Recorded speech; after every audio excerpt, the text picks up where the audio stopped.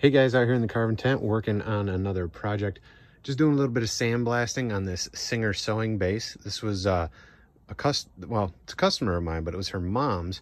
And we're gonna turn this into like a side table, but kind of had to hit it real quick with the sandblaster. And I'm getting ready to uh, paint it with some black as she wants this whole whole thing to be black. So I'll tell you guys what, if you stick around, let's do a magic trick and uh, I'll show you what it looks like all black.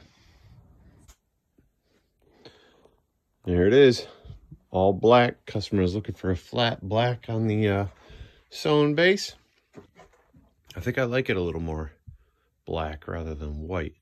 So this is going to be cool. We got to find a uh, piece of black walnut for the top. Kind of be like a sideboard table once done. It's going to be a really, really neat piece.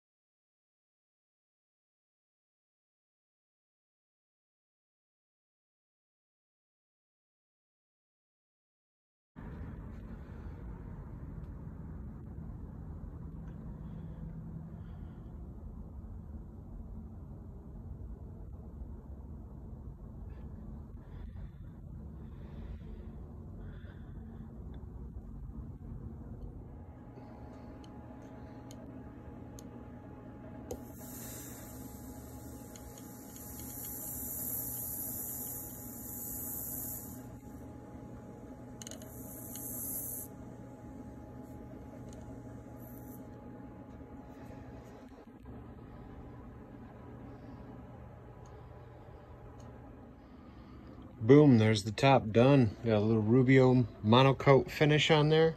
Edges are all carved up. Oh yeah, tomorrow morning we'll mount this thing to the base.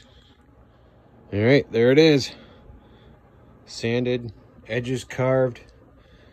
Nice Rubio monocoat finish.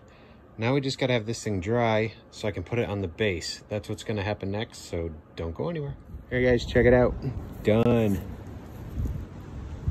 Right there, Saburrtooth burr did all that carving. Came out really, really nice around the whole edge of this piece of black walnut.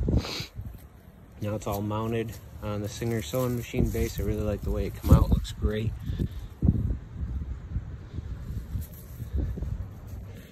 Hope you guys enjoyed it. Be sure to follow for more.